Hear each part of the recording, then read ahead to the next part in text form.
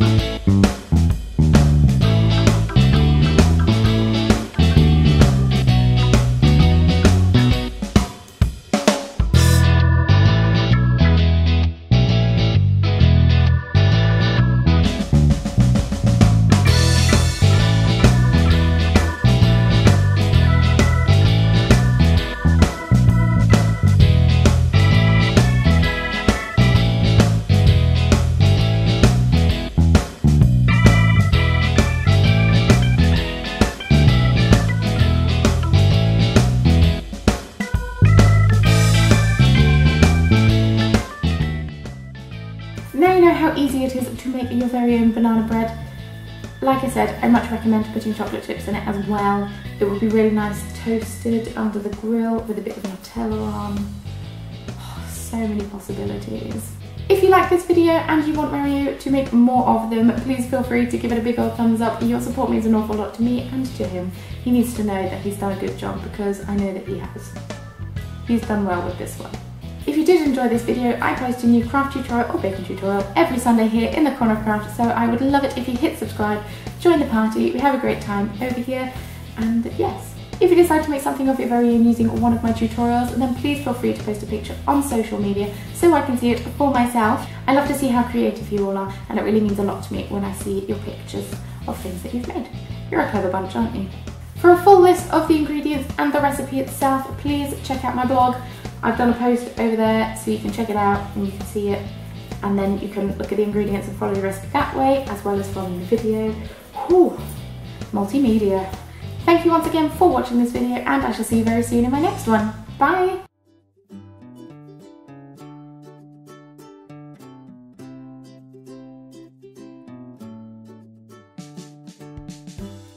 Hey everyone, it's Hannah and today I have a requested video for you. You may have seen in several of my videos that I've been wearing this bracelet that I made. It's obviously got my name on it.